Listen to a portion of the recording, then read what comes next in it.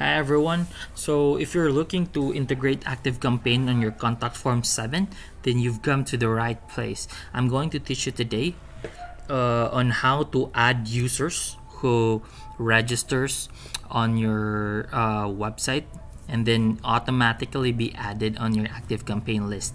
So right now we will be using this uh, plugin. It's called ActiveCampaign in Contact Form 7.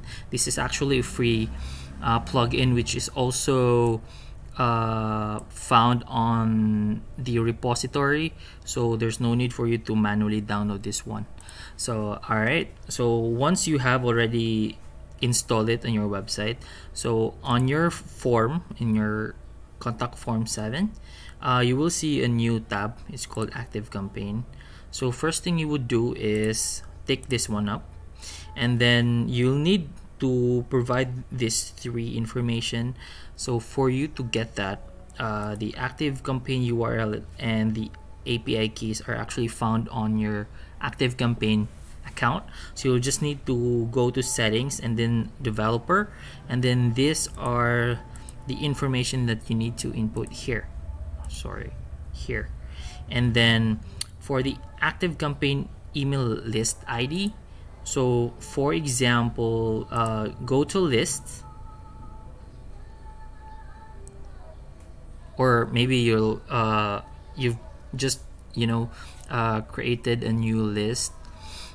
Uh, you will see here the email list ID so the good thing with this uh, plugin is actually this is real time. So the moment uh, users register or hit the submit button they will automatically be uh, updated. So here on the list or email lists you just need to copy uh, I mean to click one.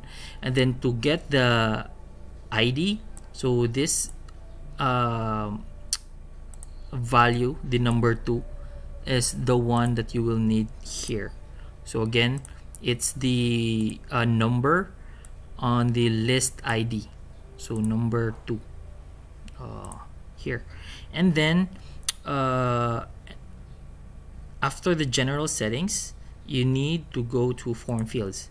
So this is the one that maps the users um, information to your email list information. So basically what is needed is the email of course. You need the email. So on my list uh, as you can see it's named your email. So it act automatically pulls everything. So this is really uh, handy. And then all the fields here are actually optional. So I would suggest to just map based on what's you know uh, required. And then hit save.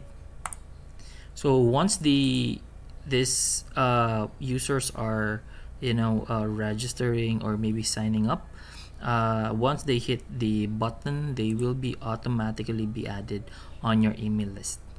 All right have a great day